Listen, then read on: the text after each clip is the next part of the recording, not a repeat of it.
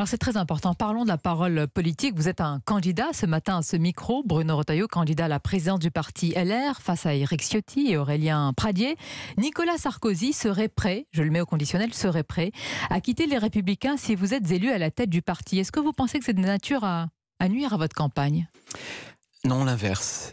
Euh, je vais vous faire une confidence. On est entre nous là, euh, Sonia Macron. Je, je l'espère pas, mais allez-y. Écoutez, si je suis élu et si Nicolas Sarkozy souhaite euh, quitter LR, qu'il le fasse.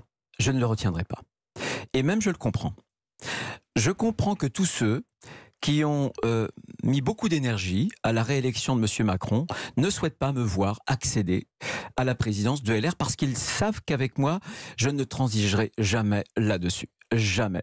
Je veux une droite qui soit vraiment de droite, je le disais, pas une droite euh, à mi-temps, pas une moitié de droite, la droite complète. Voilà ce que on va en parler, je dis mais vous de dites la à Nicolas Sarkozy, la plus calme et sereine. Partez, c'est pas, euh, on ne vous retient pas. Non, non, attendez, on ne vous retient pas, Monsieur l'ancien président. Écoutez, si, je suis... si, vraiment, Monsieur le président de la République, euh, vous avez dit ce que j'ai lu, eh bien, si je suis élu, je ne vous retiendrai pas. Mais pourquoi il dit cela, selon vous, Bruno Retailleau? Pourquoi il dit cela? Peut-être parce que j'étais un des seuls parlementaires euh, à l'époque à ne pas vouloir voter le traité de Lisbonne.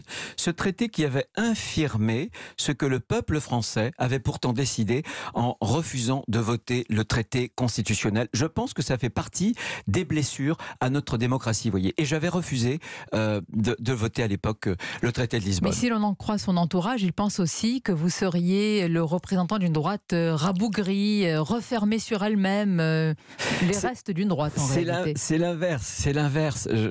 moi, je pense que, euh, et, je lutte.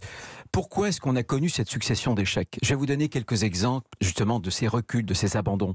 Euh, certes, on a fait la défiscalisation des 35 heures, mais on, on, les a pas euh, abandonnés les 35 heures. Certes, on a fait des peines planchées, mais on a abandonné la double peine. Certes, on a réduit un peu la fonction publique, mais on a fait les ARS qui ont bureaucratisé la santé. Là, vous êtes en train de me faire l'inventaire, c'est ça C'est un inventaire, et moi, je mhm. suis totalement libre. Qui n'a pas été fait d'ailleurs par la droite. Hmm. Exactement, c'est tout le problème. Ça, le Et il faudra le faire pour dire aux Français qu'on a vraiment changé. Y compris l'inventaire de Nicolas Sarkozy. Mais, mais, bien sûr, quand je dis que le passé est aussi un passif, je renvoie aussi à cela. Je ne dis pas que tout était mauvais. Je suis prêt à reconnaître un certain nombre de choses positives. Mais il faut que euh, on dise aux Français écoutez, on tire les leçons de nos échecs et on n'est pas exactement la même droite.